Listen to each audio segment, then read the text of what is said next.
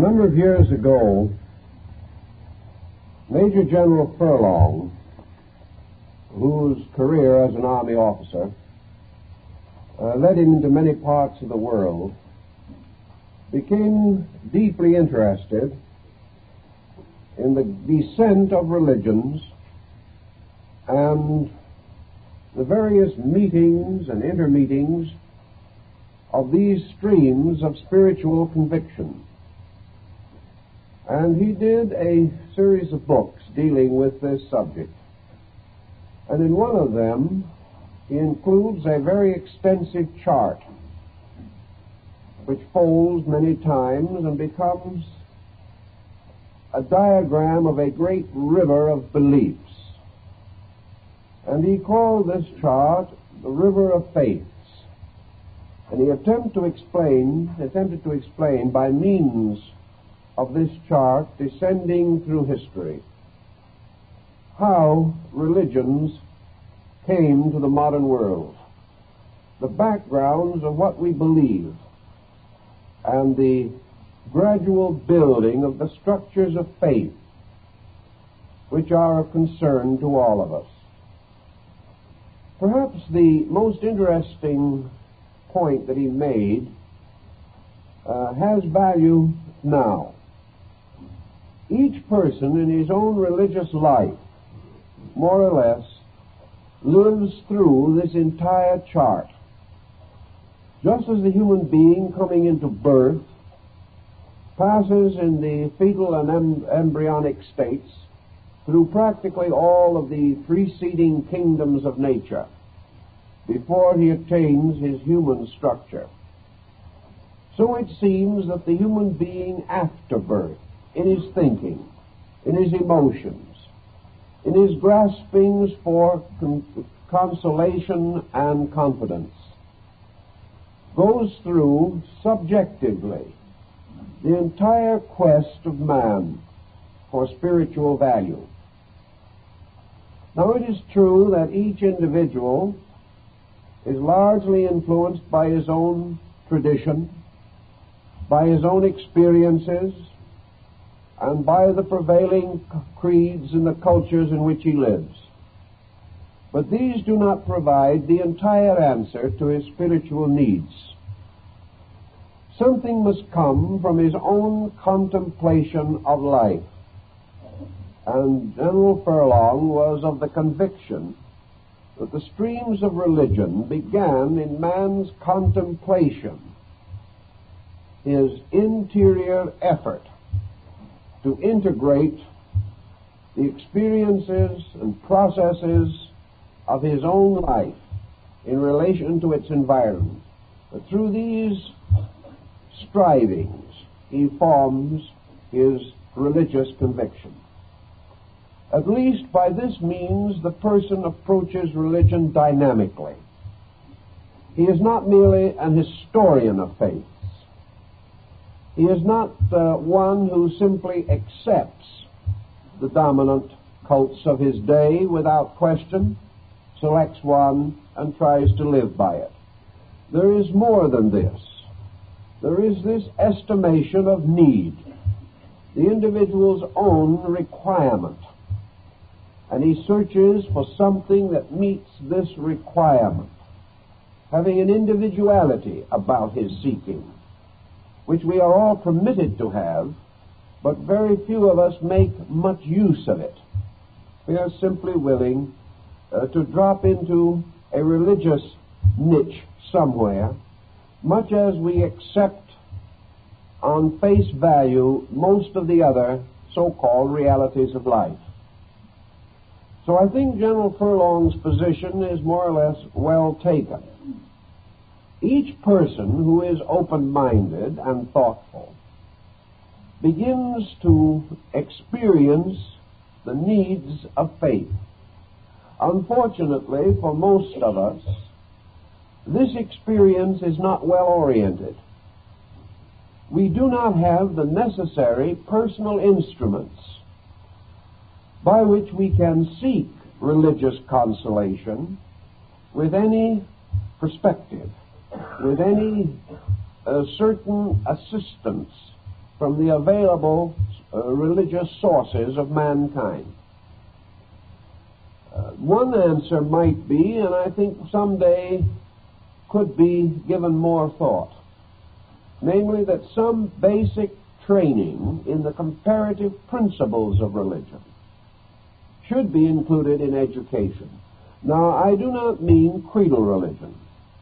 I do not mean that education should insist upon any belief, but that it should provide the individual with some comprehension of the beliefs available in order that he may choose more intelligently.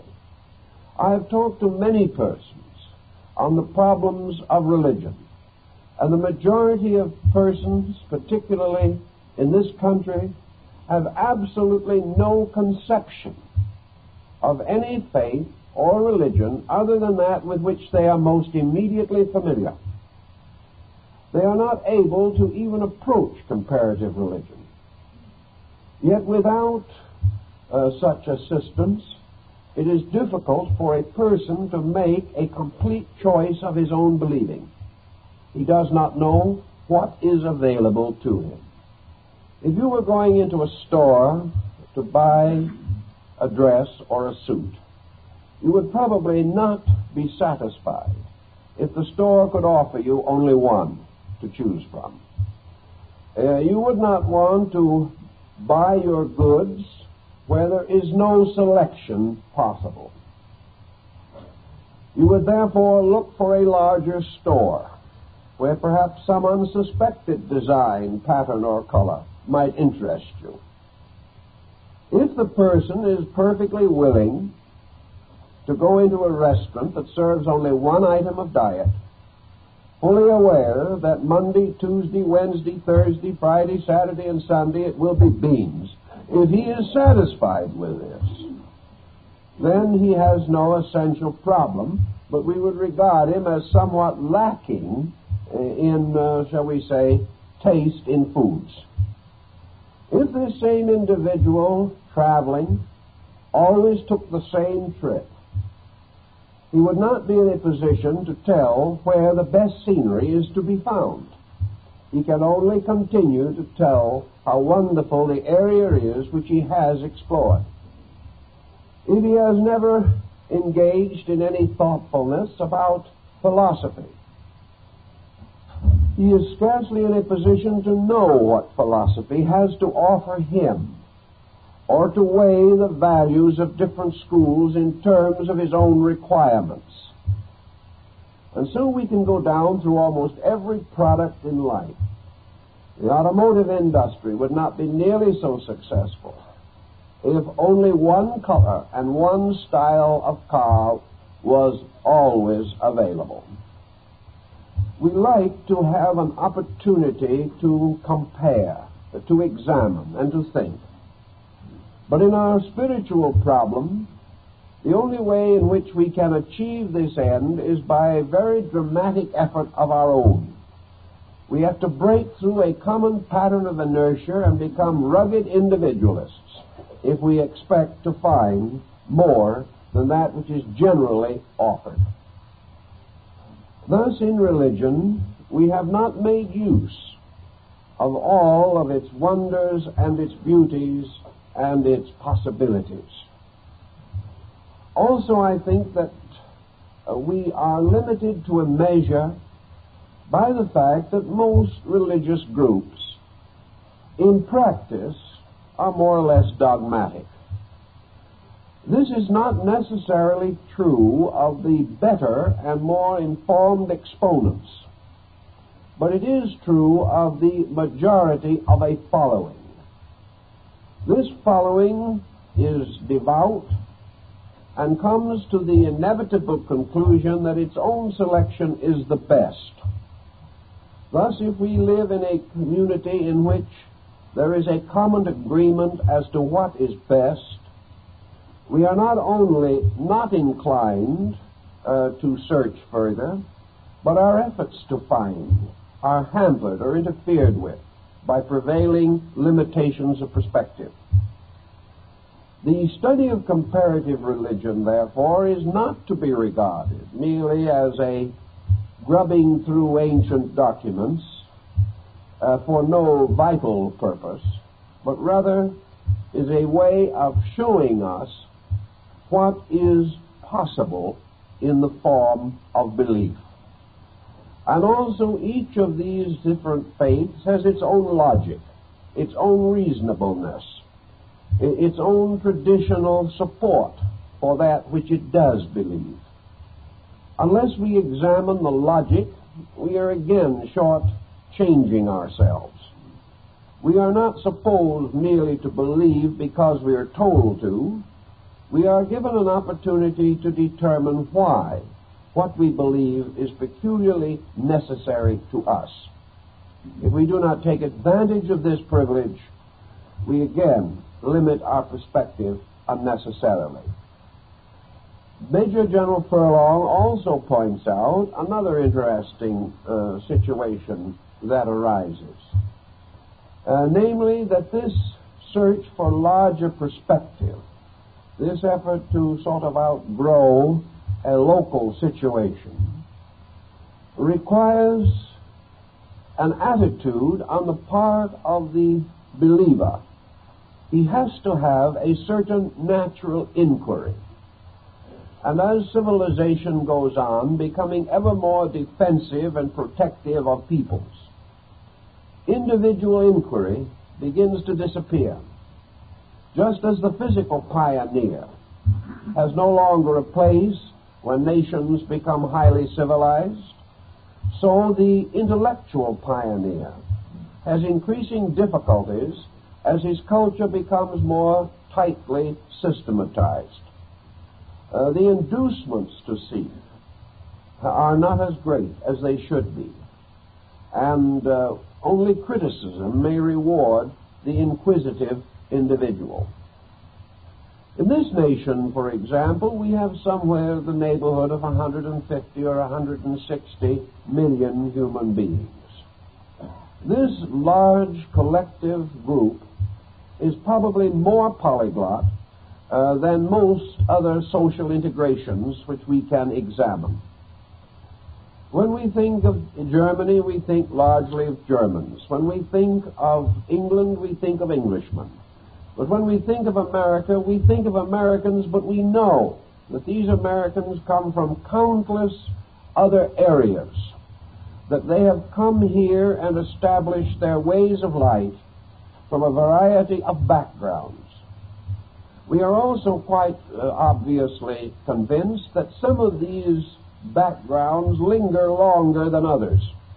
And in most of our large communities, the foreign population groups have a still a tendency to segregate, to remain somewhat to themselves, to preserve their own ways of life. Only a few days ago, for instance, the French people in this community celebrated Bastille Day. And there was something about this that awakened nostalgia in thousands of persons of French descent, even though they may have been born in this country.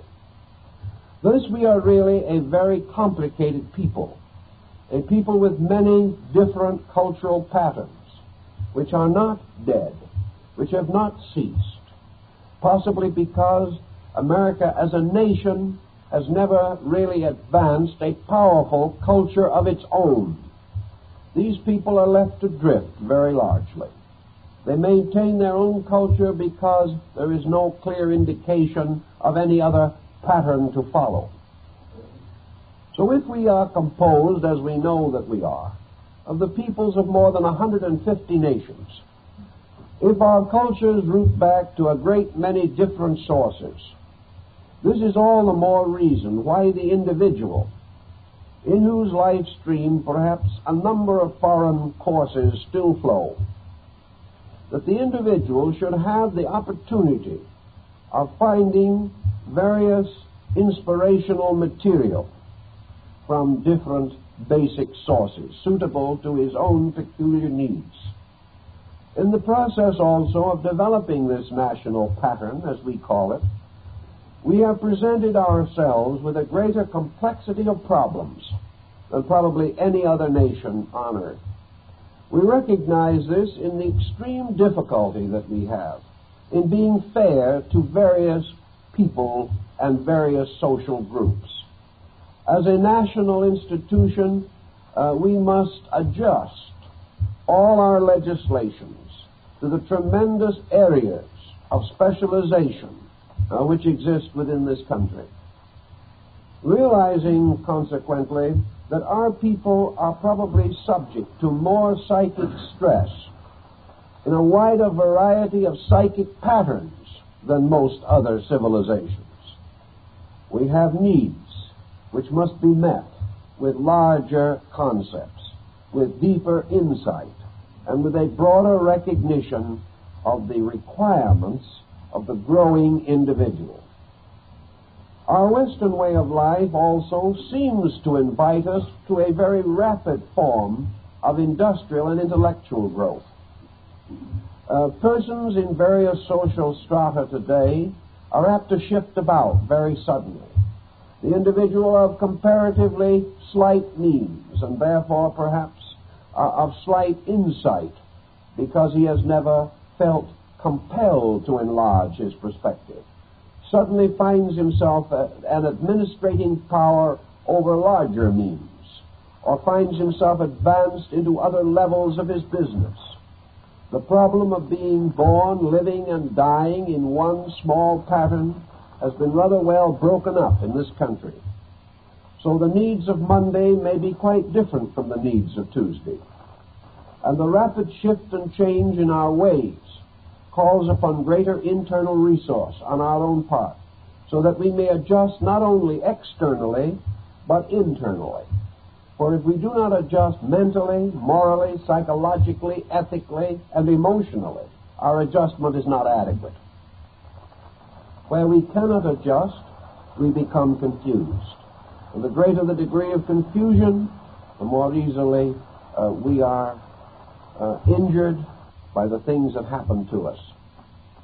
So to find spiritual consolation in this Western world probably means that we need a broader area of religious understanding than most people have as yet developed.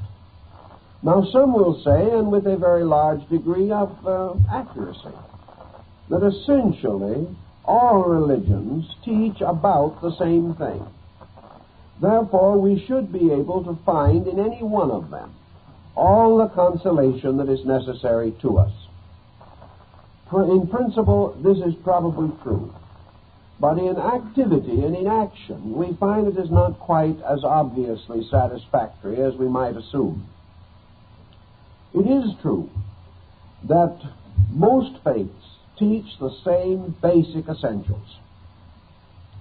But usually they teach these essentials in a slightly different symbolical pattern. It is not what an institution teaches that is the primary and ultimate problem. It is how the person depending upon that institution is able to interpret for himself what it teaches. Thus, individuals of different types of minds are not able to accept one interpretation for all the different uh, principles that arise. We know this. It is no question uh, of acceptance or rejection of a theory. We know this in Christendom alone, but we know that Christianity, to meet the needs of many different individuals, has already become highly sectarian, and that today probably a dozen or twenty major divisions and nearly 500 minor sects uh, disseminate Christian religious doctrine uh, through the peoples of Christendom. Uh, this means that certain interpretations are more or less essential to the individual. He instinctively goes to one that seems to be nearest to his own need. Today, the mature selection of religion is much greater than it used to be. In many faiths, the individual was born into a doctrine and never conceived the possibility of moving from it. But today there is a greater tendency of mature people to choose their faiths. And in the choice of this nature, a certain power within man is necessary. It is again as though you went to a store to buy some products. You are conditioned by your attitudes toward these products. And the thoughtful person tries to find out which products are the best. He may succeed or he may not succeed, but he undoubtedly develops allegiances. We have today probably 20 or 25 different kinds of soaps and detergents for washing machines.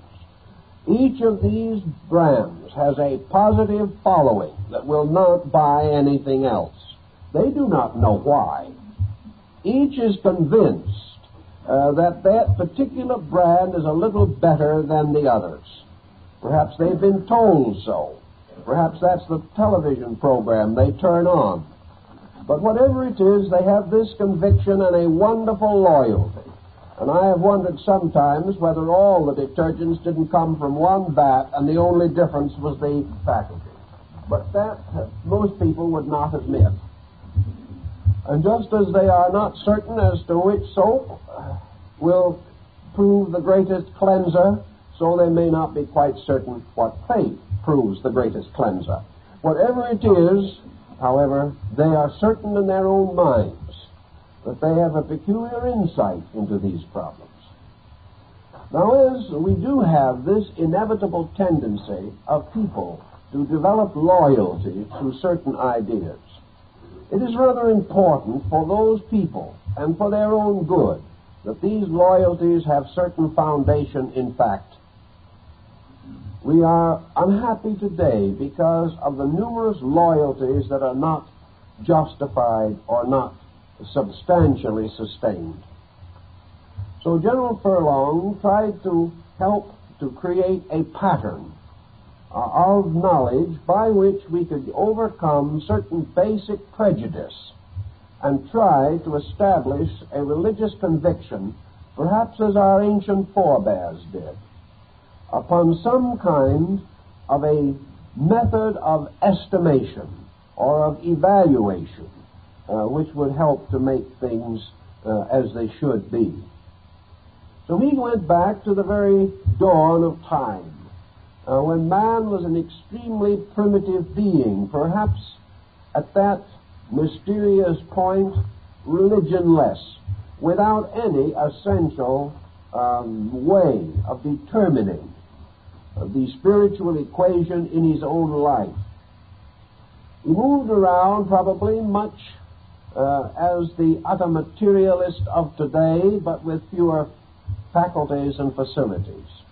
He lived uh, merely because he had been born, and therefore he had to continue until death relieved him of whatever complications had arisen.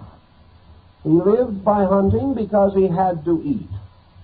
Gradually he became aware of the need of clothing to protect himself against the rigors of the world around him.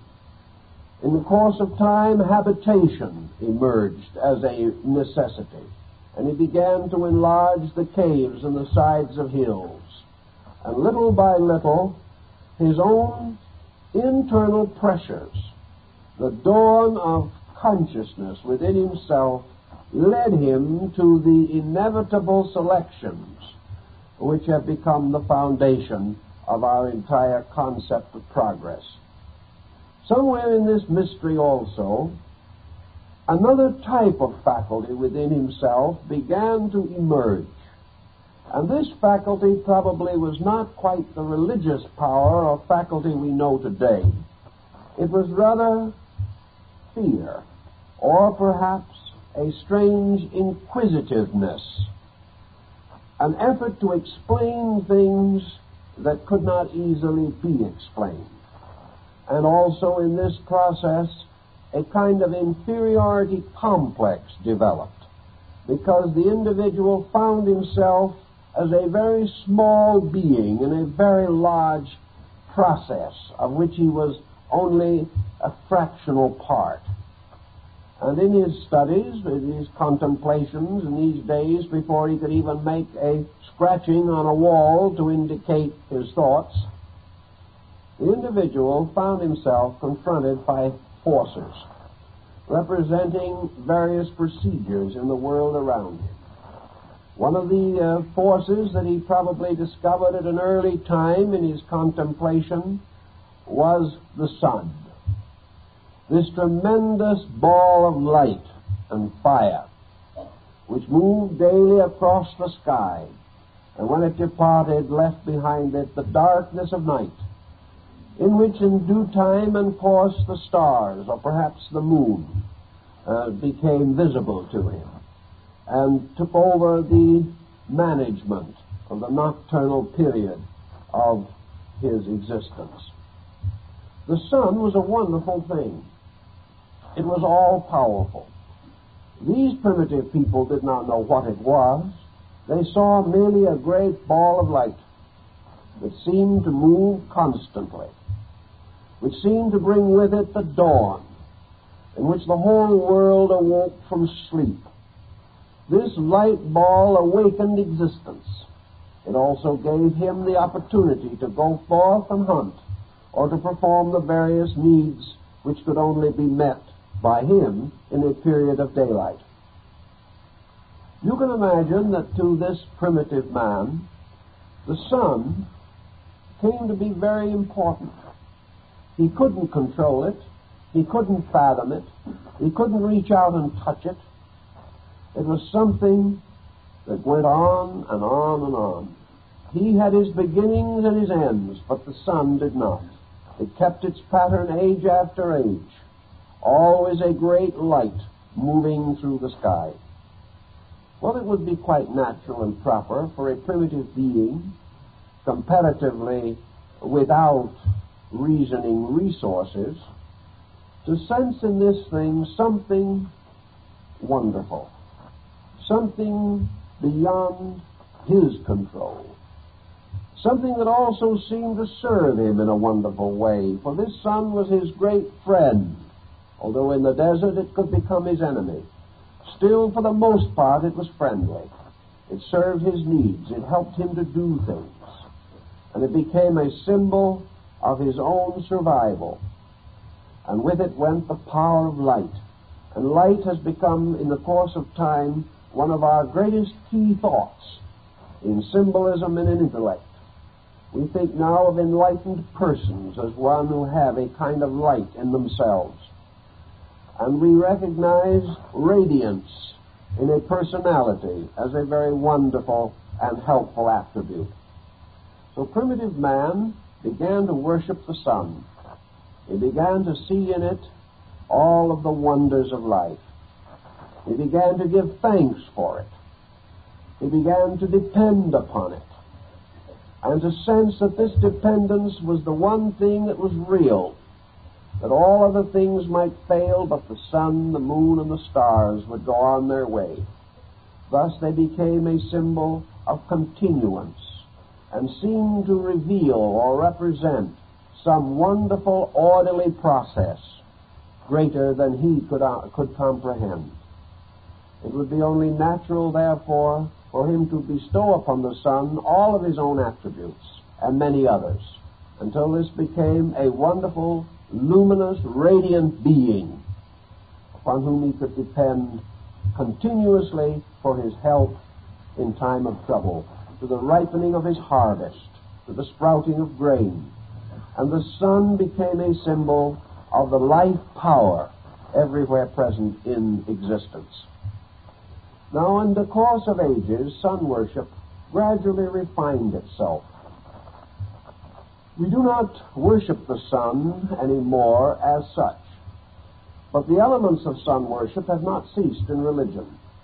And down through the ages, this great stream of conviction continued, modified, augmented, refined as our own knowledge increased, and brought into a more complete pattern with the gradual rise of astronomical sciences. Yet with it all, the principle of the sun has come down to us into our modern religion, into our present believing in all things, in the concept of the worship of light, of the principle of light. That light represents the power to penetrate the unknown, and that the light, as St. George, has finally slain the dragon of darkness and of ignorance, and light became truth, and darkness became error. And we have always believed that there was a light that lighteth the darkness, and that this light is God. Therefore, we will frequently refer to God as light. And this comes down to us from this old stream of human belief. Now, man also exploring around him and estimating the values of things that occurred, it came to another interesting symbol, and that was his instinctive recognition of the mystery of procreation, the power of living things to generate, to reproduce their kind, the little bird breaking through the shell of the egg, the birth of new beings in nature, the mysterious process of the continuity of life through generation, fascinated primitive man. It seemed that in this some mysterious magical agent was involved, and the worship of generation was early involved in magic. Yet the fact remained that one of the most powerful forces in the universe was that which kept things going, kept them reproducing their kind, causing them to grow, causing them to continue, to bring each year the new harvest out of the earth. That things growing from their seed produced in turn their own seed, and that this went on and on and on. So out of the concept of this came a recognition of a universal mystery of procreativity, a mystery of life begetting life, and all that had to do with this begetting as it related to man became sacred, became mysterious and wonderful, and was regarded as a gift or a bestowal of some power invisible and superior to man. A little later in his growth, man discovered fire. And we have the rise of the religions of fire. We find the altar flame burning everywhere, whether it was upon the altars of the ancient tribes of Israel or in the burning candles on the altars of the modern church the worship of fire, all that it meant, all of the mystery that it implied. Fire came from nowhere. Fire burned out and died. But although a thousand fires died, fire did not die. Everywhere by a magic power it could be called forth. Everywhere it became either a source of light or of a consuming power. And this mystery of fire, flickering, mysterious, formless, ever present, this mysterious and strange thing which brought light into the cave where the sun could not reach, which warmed the coldness of winter, and which gradually came to assist in the preparation of food. Fire was a very wonderful thing. And fire to these ancient peoples seemed to represent the presence of a power, the power of heat, the power of warmth. They discovered that when they died, their bodies became cold, that a fire went out of them. And so, to many very primitive peoples, there was a belief that a fire burned in the heart of man, and that this fire was his spirit. And the uniting of the concept of spirit and fire gradually gained much favor in the thinkings of primitive peoples. And as a result, uh, we have a pyrolatry, or the worship of the principle of fire and its symbol, which is the upright triangle. And while all these things were going on in the thinkings of men, other primitive and original discoveries were also brought to uh, consideration. Another great discovery was the earth. Not the earth just simply because it was a surface upon which primitive man wandered about through forests and jungles and along the shores of lakes and streams, but the earth itself became wonderful. The worship of the earth as the great mother originated at a very remote time. Why? Because man clung to the earth. He held on to it. He tried to have a little part of it for his own home, for his own protection. The earth grew his food. And the sense of concept was that he had come himself from the earth, and to the earth he returned again in the grave mound. And in the grave he seemed to go back into the earth. And therefore the grave became a gateway leading down somewhere under the earth, where there might be a place where ghosts and shadows lived. But the earth became, in a sense, the source of all nutrition the, the security, the firmness beneath our feet, the very source of our ability to survive at all. As a planet, it was not known to these people, but as an element, they could take it in their hands and allow the rich, dark soil to fall through their fingers. They also saw the roots of plants clinging desperately to the earth for life. They saw the rain making the earth fertile. And from it all came this wonderful veneration for the great earth principle, the mother of mysteries, from whose eternal womb all life came, and into the darkness of which all life in turn went back uh, when its course was finished. The earth became therefore a model of temple and house and of prison and of graveyard. It was all these different things. But as a principle, earth remained. And gradually, as man grew a little wiser, he bound the concept of his own body with the earth. His body was made of the substances of the earth, and it was sustained by the source of its own substances. So the worship of earth, or of nature particularly, and all natural phenomena, took a large place in man's thinking. And at one time the Egyptians had a deity, Serapis, to signify this wonderful world of nature. And at Alexandria, where his shrine stood, they had a great image of him. And this image was composed entirely of natural things. The body was made up of grain and fruit and flowers. And all living creatures were wound into this mysterious emblem which thereby became a symbol of nature itself. So we have these beginning streams which men in their own concept felt to be important.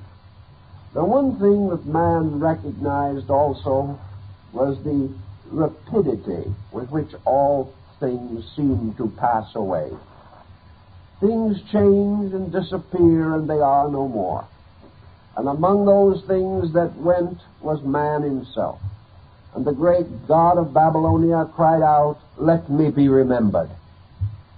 And this desire to be remembered, uh, perhaps based upon the lingering memory that man had of his own forebears. He liked to remember his father, and his father would tell of his grandfather. And this man then did not want to be forgotten. He wanted his children to tell of him, and their children in turn to tell, turn to tell of their grandfather, and so on. So in the cries of the ancient cuneiform inscriptions of Babylonia and Chaldea, the uh, thought is constantly implied. Let us not be forgotten. Let some part of us belong to that which never shall die a man looking around for the symbol of this hope of endurance found two elements working together. He found that with his own hand he could make little carvings, little tracings with a hard rock upon a softer one, in which he could make pictures telling about himself, telling about the world he lived in, and these pictures he made upon the surface of enduring rock. And out of the, the combination and psychology of the idea that rock became the source of recording, that that which was to endure endured longest upon rock. And out of this came the rock inscription, uh, the gradual carving of glyphs that we can no longer read but which in their own time meant something. They meant survival. They meant that memory would go on remembering, and that the children on the rock picture could trace the doings of their ancestors. So the worship of stone the worship of great monolithic rocks raised in circles, as at Stonehenge or at Carnac in Brittany, or out in the jungles of Africa or Asia. These rocks were, were the symbol of endurance. Things that would go on and would never die. And out of this came the worship of stone, and of stone monuments, and of obelisks, and the building of pyramids, and all of these great rock projects. They were created to the concept of immortality, to the fact that something would go on. So even today, men follow this instinctively, whether they realize it or not. A few days ago, happening to be down near the Civic Center, I saw one of these great demolishing machines hurling an iron ball against the wall of a building that was slowly crumbling. This building had evidently at one time been an heroic endeavor in the construction of our city. They had not yet torn down or demolished the entrance door, a kind of semi-Grecian arch that uh, perhaps showed more of courage than of architectural skill. But over the door was a man's name. This building was the building he had built. In a few more minutes, this great iron ball would lower this with the rest. And this project, which had stood maybe 50 or 75 years in memory of this man who had built it, would be laid with the dust of ages. But the man had put his name there just exactly for the same reason that our primitive ancestor carved circles, squares, and galloping bison upon the wall of a cave. He did it to be remembered. It was his little bid to immortality. Perhaps he had had to practically burden his own soul in order to get the funds to build this building. It was his monument. It was also his grave marker. And now time was to take it away. But his instinct was there. This instinct never to die. To be remembered through the things we do. And this is still an essential part of our religion. Today we perhaps use it differently. We do not make so much of the stone. Perhaps rather today we try to mold our names and superscriptions upon the hearts of our children. We try to hope that they will carry on the careers that we leave unfinished. We build great enterprises as the ancients built their monuments in stone. And we hope that those who come after us will always remember that this vast project was originally created by some one person, that this person, John Doe, should never be forgotten. So it goes. And this monument problem, this tracing of things in stone as a symbol of permanence, resulted in the worship of stone. And it did become a great faith in ancient times, as is referred to in the Bible by the monument that was set up in Egypt. And wherever a great people has flourished, it has carved its records deep into stone, whether it is the Roman Forum, or the Egyptian complex at Karnak, or in the Great Wall of China, or in the pagodas of Japan, or the mosques of Islam. Always there is the name, the word, the inscription that must go on. The worship of stone, therefore, became a symbol of the worship of memory. It became the not to forget that which is the source of ourselves, that which has helped to build or to make possible the continuance of our own way of life. Again, the ancients, in their studies and researches, became aware of something else. This something else that they became aware of was motion. Vitality moved into their concept, gradually taking over a greater part than had previously been recognized. That which belongs to the animal or human way of life is most alive when it moves. The ancients considered sleep a kind of death, a thought which is carried into the Bible in the words of St. Paul. But motion was everywhere present. Motion as a power was not visible.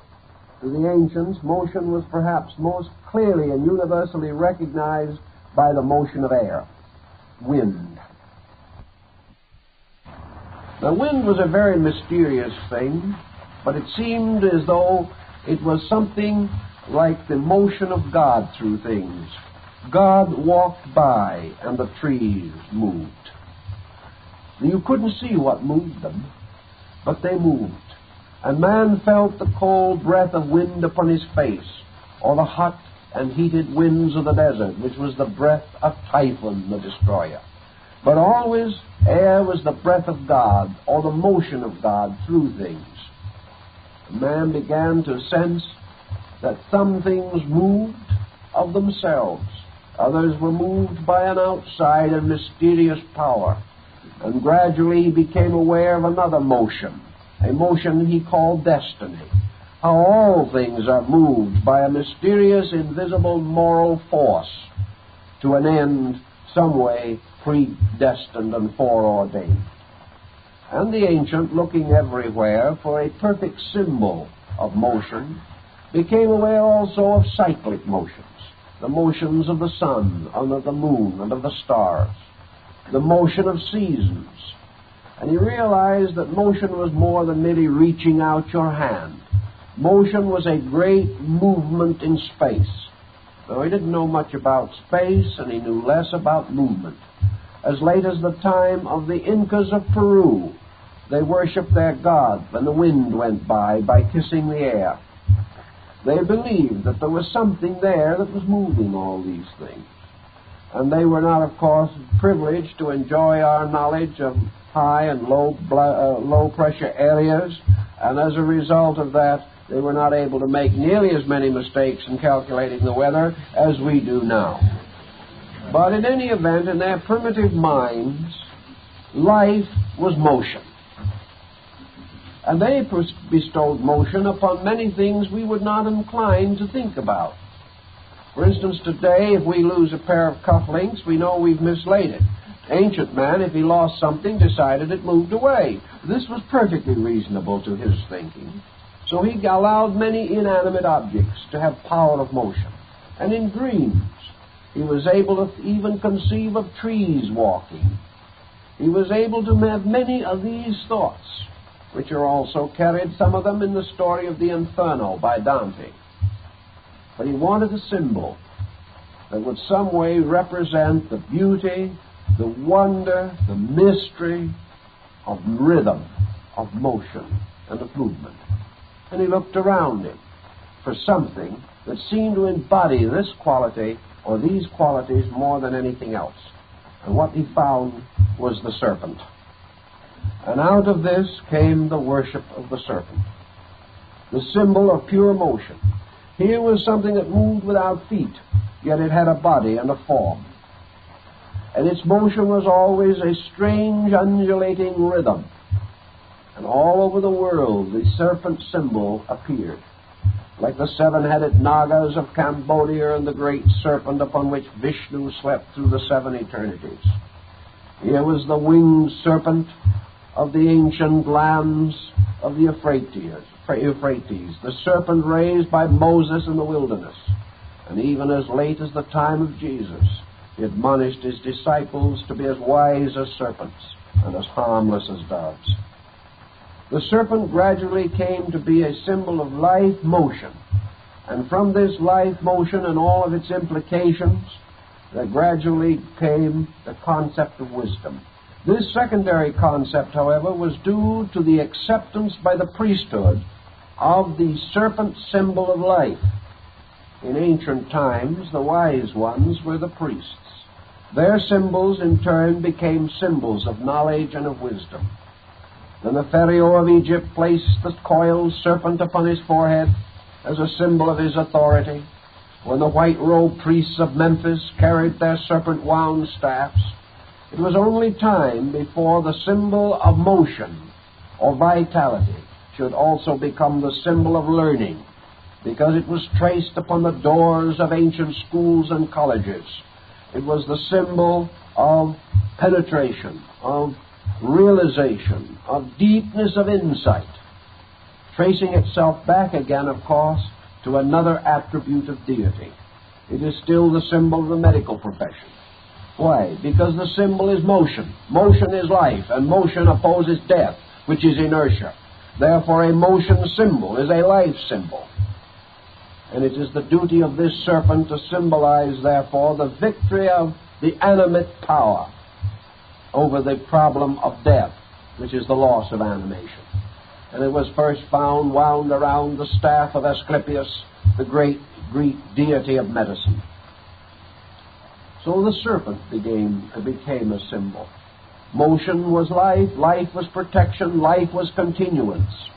Life was the guarding of things, and among the ruins of our Mayan brethren to the south, the gods and heroes stand protected by the serpent glyph in the air above them. And the winged serpent came, the serpent of the mysteries, of initiations and of secret rites. And the, and the subterranean temples of Xibalba, as described in the great uh, work, the Popol Vuh, the sacred book of the Quiche of Central America. The temples were the serpent holes that went under the earth. The serpent, therefore, gradually gained its place, not as a symbol of evil, but as a symbol of life. Evil only by the misuse of life. That the very principle of life itself tempts men to destroy, tempts men to pervert or misuse. And that which is the greater good is also the potential cause of the greatest ill. So the serpent became one of the great archetypal symbols of religion. And we can go on with these basic symbols, one after another, but one perhaps more would be sufficient to carry our thought. Man studying man also made certain discoveries and these discoveries, in turn, uh, were affected psychologically by a series of other factors. Gradually, there arose in early society a tribal kind of existence. A tribe must have a chieftain. It must have someone to lead. For from a very early time, man realized that all men could not lead. And there had to emerge the strong one, the hero. And in time, this heroic descent became a fixed pattern. Probably at the beginning and even later in some areas, chief, the chieftain was elected. But it gradually became an hereditary prerogative. But the tribe was ruled by the powerful one. And if he was not powerful enough in his own estate to gain the necessary recognition, he was given various attributes. He was permitted to wear certain special raiment of authority he wore more ornamentation, more jewels, more crowns than other men. He had a larger house to live in, which gradually became a palace. But by degrees, even though he might still be only a human being, he was surrounded by defenses and props, by means of which he became separated more and more from the other members of his clan, until he gained the mysterious psychological aura of authority. I know years ago, when you could still go to Peking, I saw there in the Imperial Museum the coronation armors of the Emperor of China. These armors were of solid chain gold. And uh, the Emperor, when it came time to put on his full coronation regalia, was not physically able to carry its weight.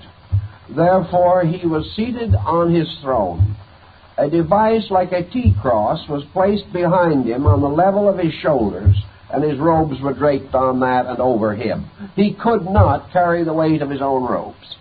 This shows what has happened and what does occur in the effort to make the individual seem different, to seem more important than before. Today we do not bother to put a heavy robe over the front of him or a T square or cross behind him to sustain it all we need to do is pin on his chest his bank book, and everyone worships of their own accord. But anyway, that is the way it was in old times. And in the course of time, the cults were no longer so clearly differentiated. The tree worshippers or the earth worshippers came closer to the fire worshippers. Those to whom the sun was the great symbol met and mingled their culture with those to whom the serpent was the great symbol. And in the course of thousands of years, these different streams formed a vast and elaborate chemistry of interrelationships. And as people grew wiser, the relationships were no longer merely of emblems. It wasn't merely that we swapped fetishes. The meanings behind the emblems mingled along with the physical symbols themselves. And a faith that had only one essential symbol suddenly realized that there was more than one. And either added its attributes to their own symbol or accepted uh, the two symbols, as in the case of the raising of the brazen serpent, where according to the ancient records, Moses raised the serpent upon the T cross of the Egyptians. Here, two symbols, originally far separate, met for the first time, perhaps, among these people. But the thoughts mingled also, and by degrees, compounds were created. First, two symbols met, releasing a new and larger religious content. These two, in the course of time, having met, perhaps broke again because the cement was not strong enough, and went on for a time isolated, each, however, with a certain borrowing from the other. Then, in turn, these separated ones mingled with others that had met and separated, until gradually this tremendous chemistry of the interrelating of basic concepts result, resulted in the emergence of the seven great religions known to the ancients. Some of these have not survived, but in the original pattern, these religions became the vast institutions, each of which brought together into some suitable pattern for its own purpose the heritage of man's basic spiritual convictions. The symbols, of course, always were the emblems of these convictions. And the more of them mingled, the more complete became man's concept of deity. Because once, to one stream perhaps, deity was almost solely the concept of generation. To another, however, it was almost entirely the concept of endurance or physical survival. Others, in turn, saw in it light or warmth. So when light and warmth met, intellectualism became illumined with mysticism. The old symbols got their deeper insights. And we no longer would like to believe that we are sun worshippers. We are, whether we know it or not. We would not like to believe that we are fire worshippers, but we are. The instincts and principles have never ceased. We may not want to feel that we are depending upon rock for the survival of our memories, but we do in many ways, because the main principle is we all want to be remembered. And this releases the principles. We no longer worship the symbol of motion, but there is really no difference between that and the peculiar feeling we get at the, pit, at the pit of the stomach when we talk about atomic fission. It's the same principle. We are dealing with energy, power, mind, generation, law. We are dealing with these great concepts that have flowed downward into the faiths of the day. Now, anyone who studies religion, and this is not necessarily any reference directly to our faith, anyone who studies religion is exposed to comparative religion. I have known persons associated with many religions who have taken large advantage of the privileges and opportunities of their own faiths and it is quite a mistake to assume that other religions are not aware of the comparative factors. I know I discussed this once with a very well enlightened and well instructed Moslem. Now, the Moslem is a very devout person to his own faith, and he is not inclined easily to stray from it. But he was perfectly frank to say that the old scholar that instructed him, and of course in the Moslem faith the priest is a teacher rather than a preacher, uh, the old scholar who instructed him clearly indicated how these symbols had come down from Egypt and Chaldea and from all the mysterious parts of the world of ancient times. There was no hesitance in this, and uh, was perfectly willing to comment thoughtfully upon comparative religion. The same is true in Buddhism. An educated Buddhist perhaps will know as much about Christianity as the average Christian. We do not realize it, but it is common fact. We judge these things not by the scholar, but by the average person who may not know too much about his own faith and therefore not much about anyone else's. But the fact remains that all religions of importance in the world today do teach comparative religion. Sometimes they teach it in order to try to emphasize the superiority of their own. Sometimes, however, they are pretty honest in their effort to understand uh, the uh, various streams of belief that have contributed to make man's faith as it is today. So we cannot say definitely that the study of comparative religion is essentially wrong. A number of very brilliant uh, scholars in comparative religion have arisen in Christianity. Some of the most brilliant have also been Catholic priests. But they are not to be confused with the average believers in these things who are not equipped with this particular or specific type of research instinct. But the information is available. And it is not impossible for the average person to work with it if he wants to. Out of these problems, there will arise one very practical thought one that we do need, and we need it badly. Comparative religion has unfolded very critically and very consistently in the great chart of General Forlong. Comparative religion is one of the answers uh, to the problem of world unification today. Today, we may judge the population of the world largely by its religious uh, factors. So let us say that for the moment the world has a population of between two and a quarter and two and a half billion human beings. Figures sort of fluctuate a little bit around two billion four hundred million.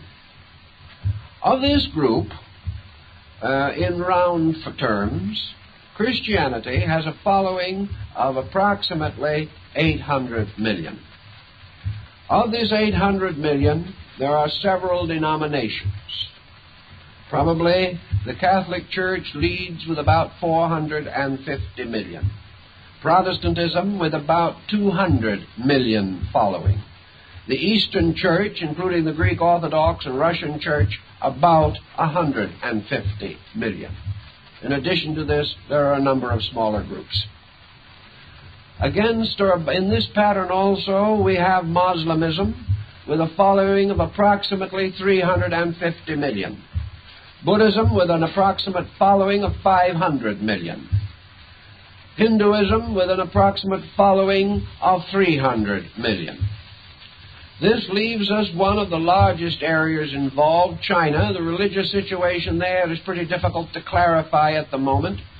But we have a population of about 600 million, divided into a number of religious groups, of which three are dominant Buddhism, Taoism, and Confucianism.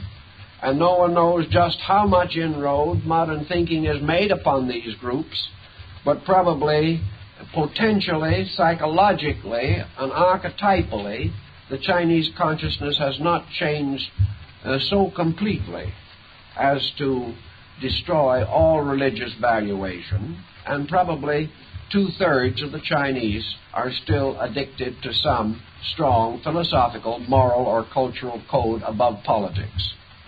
Now, when we get through with adding this together and not allowing very much for primitive peoples who still worship their lares and penates, we still have a rather interesting discovery to make that on the t- statistics available, it is rather doubtful if more than 5% of the Earth's population is either agnostic or atheistic. This is rather an interesting discovery. In fact, if we add together all the followings, we have more than the total population, but we have to be a little bit conservative and also realize that in some faiths, following is by birth, by other faiths, following is by allegiance at maturity, so that it is a little difficult to estimate all of these factors adequately. But we do know that the majority of the religions of the world represent emphasis. Emphasis upon certain streams of concept that have descended from these primitive patterns. That by this time all of them have been admixtured with all others, so that no actually clear line of demarcation is actually possible. If we are surprised and concerned over cultural fusion, we must also be prepared to accept religious fusion, for it has happened. We cannot differentiate today any religious group and say that it has been unconditioned or untouched by any other religious group. So that uh, today most religions, whether they know it or not, are to a measure comparative. I remember, as I think I've told you before, discussing this with the ecumenical patriarch Athenagoras of the Eastern Church, and he very frankly told me, he said, of course, our rituals, our sacraments, our rites, everything practically we have came from Egypt. We know that. In other words, there is no doubt of the descent of these lines of religious worship. If we removed the Christian factor from Islam, we'd have very little left. If we removed the Jewish factor, factor from Christianity, we'd have a very large hole. If we removed Hinduism from Buddhism, again, we would make a very serious scar in the structure as it now exists. And we have other faiths such as Shintoism, the doctrines of the Jains and the Sikhs. We have many other religions, each of which is to a measure dependent upon the others. So we are fighting a losing fight, consciously and intellectually, when we try to isolate religions and try to assume uh, that there is nothing to be gained from a comparative study of their philosophies. A great deal to be gained. Let us take the average person today who has certain needs. Now, we can say without question that almost any one of the major religions of the world could supply most of the ordinary spiritual consolations required by the needs of the average person. This is true. But at the same time, there are reasons why this is not effective in operation. To some persons, the elaborate symbolisms of the past are frightening. To other individuals, that which is strange or different is in itself uh, an adversary. We are afraid of what is not familiar to us. It isn't possible in operation for us to be quite as interdenominational as we might wish to be psychologically. But today, modern man has many problems. And uh, his problems are hereditary. We can say, for example, Western civilization is perhaps 5,000 years old, counting most of the streams of the Greco Egyptian culture lying behind it. Might be 7,000 years old. We won't bicker over a couple of thousand years. But we are faced with problems now that have been already assailed or integrated by other peoples. For instance, in the West, we have been a very progressive, active culture. Europe, America has been always on the move. Now we are confronted with a problem of there's not much more place to move to. This presents another situation. Up to now, we've always walked out on a bad situation by moving into new territory. Now there is no new territory, and we are confronted with the desperate difficulty of staying where we are in the middle of the situation.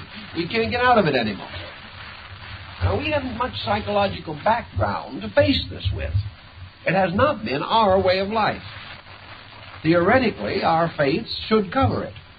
And in a measure, in principle, they do. But when we are in a specialized dilemma, we generally look for a specialized solution. We can say, for example, that in problems of living, grandfather's wisdom should be enough. And in all problems, we should go to grandfather who has lived longer and say, now look, how would we handle this? But our tendency today is to doubt the wisdom of this procedure. If we are in legal difficulties, we go to a lawyer, not grandfather. Because we recognize there are problems now that grandfather doesn't understand very well. He lived in another generation. If we get sick, we are not inclined to depend upon grandfather's uh, ancient knowledge of botany. We begin to look for something else. If we decide to buy real estate, we are not going to depend on grandfather. We're going to try and find an expert. We're going to find someone who has specialized in this procedure. So, in our religious needs today, we have a world to choose from of peoples who have specialized various aspects of their own spiritual needs. As we get older and become a little more introverted and have to sit on the ancient territory uh, a little more tightly than ever before, perhaps we will find more consolation in the wisdom of China than we will in our own particular treatment of philosophy. Where China is an old and patient culture that has gone through much more corruption than we have ever known and is still psychologically striving with the problem of helping the Chinese as an individual to live with himself.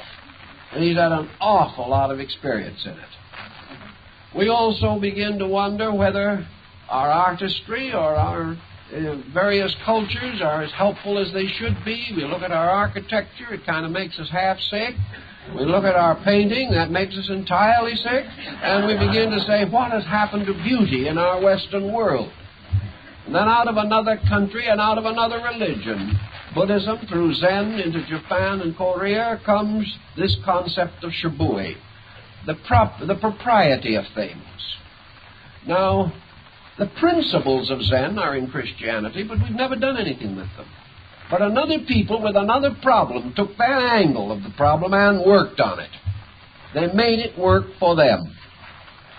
Now, we could do the same. We could start from scratch and build also. But it's almost too inviting to find another person or another group that is accomplished in these areas. Therefore, our tendency is to move into what they have accomplished and try to adapt it for our own need. This isn't heresy, this is common sense. And so we go among other people of the world. Some races have gone far in art, some in music, some in literature. Some religions have given us great spiritual consolation, others have stimulated great mental thoughtfulness. And so we have a wonderful heritage of beliefs today. And out of this wonderful heritage must ultimately be revealed what seems to me to be the basic problem involved. Uh, just as recent researches in philology have indicated that there was a mother language beneath all the tongues of earth, that we are all speaking dialects of a basic language now forgotten. I think we may also say that there is a basic religion, a blazing star of spiritual beginnings uh, perhaps represented in part at least by Forlong's wonderful mingling of the rivers of faith. But that there has been from the beginning a religion, an eternal, universal, unchanging spiritual principle. That the essential ideals surrounding this core religion, like the petals of a flower, or in Eastern thought, the beautiful flowering of the lotus, that these basic beliefs and ideas form together with their central core one magnificent religious concept. That this concept has slowly broken up by the processes of involutionary motion. It has been divided and scattered and tossed about throughout the world. The seeds have fallen on all kinds of ground, and due to the different kinds of soil, they have grown to be slightly different but uh, while not perhaps immediately recognizable, they are essentially the same. Gradually, by our evolutionary process, the demand of our spiritual culture for totality, all of these fragments must be gathered together again. The broken up streams of religion must be reunited. The great pattern of religious motion which we have known is one great movement based upon an utter human need upon a complete dependence of man upon ideal, truth, and principle for survival. And in this world of confusion as we now know it, I've always felt that religious confusion is the most tragic of all. Because it means that we have not achieved that degree of insight in which we can unite the best part of ourselves for the solution of common problems.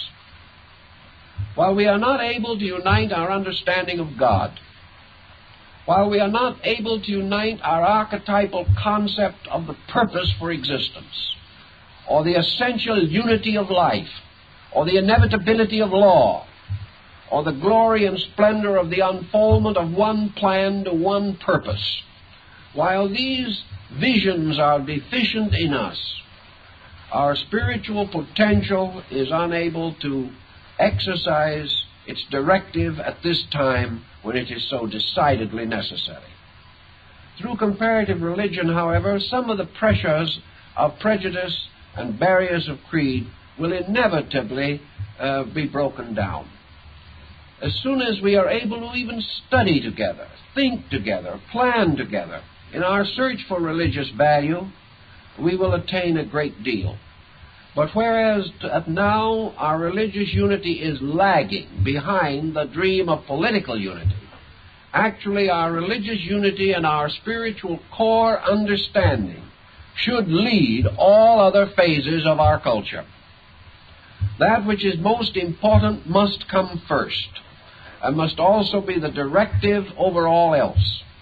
The only directives that we have that are adequate are directives based upon such principles as the uh, Decalogue of Moses, or the Sermon on the Mount, or the uh, famous disciplines and commandments of Buddhism, or the essential moral code of Vyasa, or the great ethical code of Confucius.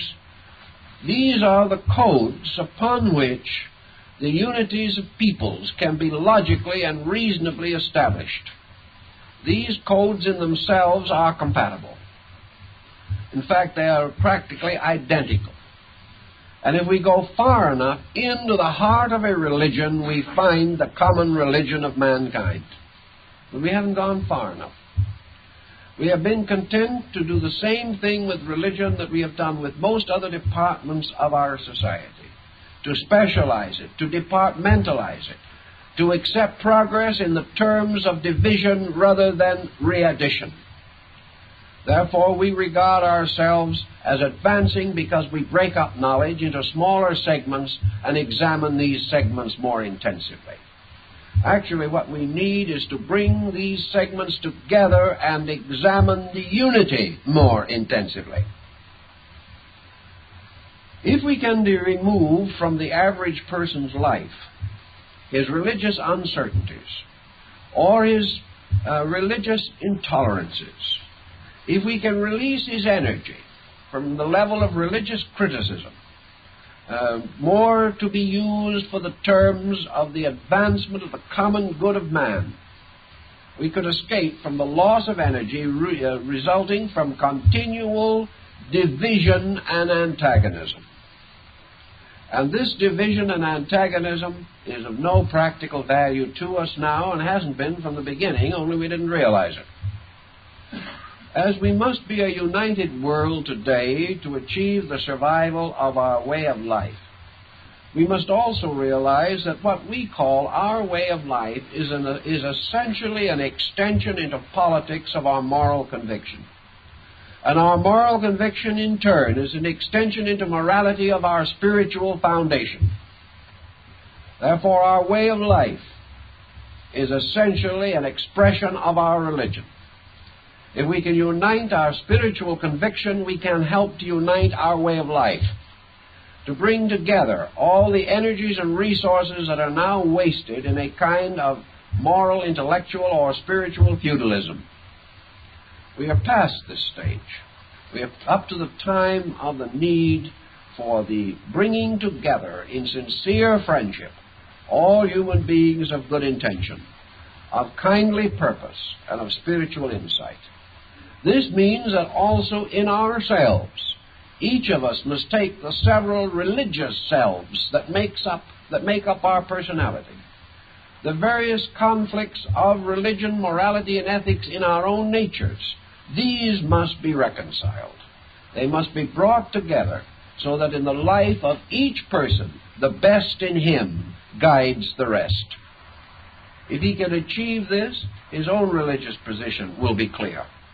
And he will realize what men have always known who were thoughtful namely, that man's searching for truth from the beginning, by his own very nature, the ultimates can only be ultimately known. The search for truth today is not to be a battle of persons who believe they have found all the answers.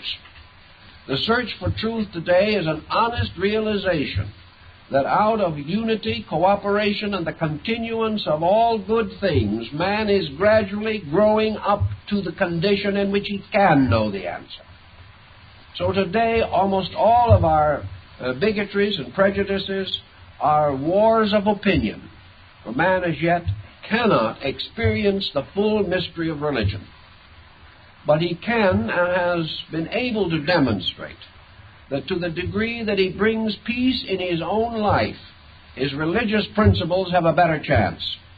And to the degree that through religion he can bring peace to society, to the nations and faiths of the world, to the degree that they become friendly and peaceful, to that degree they are in a better condition to advance their own insight and to unite in the common improvement of the world.